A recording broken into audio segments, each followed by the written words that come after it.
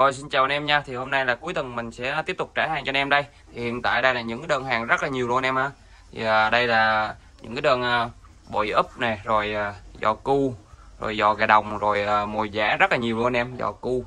Đây là những cái đơn hàng giò cu anh em ha Đây là những đơn hàng giò cu rất là nhiều luôn. Rồi còn cái đây là cái đơn à, túi bổi đa năng. Túi bổi đa năng này về đồng nai anh Đó tiếp tục đây là những cái túi bổi đa, đa năng nữa. Túi à, bổi đa năng hiện tại bạn đang bán rất là chạy anh em ha nó rất là chạy luôn.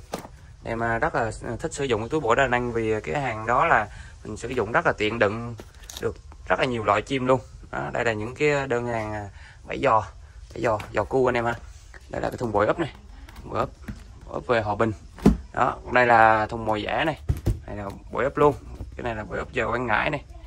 Hai thùng bội ấp nữa. Rồi cái đây là cũng là giò cu luôn anh em ha đó.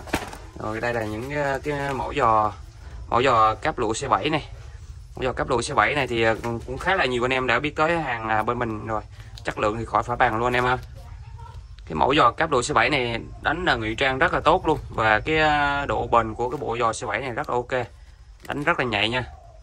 Rồi đây là tiếp theo là, là còn cái cái mẫu à, bộ ấp bên mình.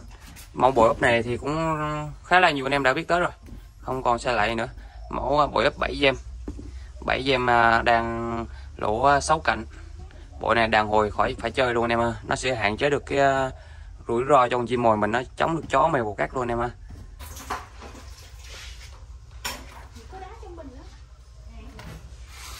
Rồi tiếp theo là cái ờ, mẫu uh, túi bổi đa năng. Túi bổi đa năng thì cũng hàng này cũng đang uh, bán rất là chạy anh em ha anh em nào có nhu cầu thì cứ alo cho mình ha.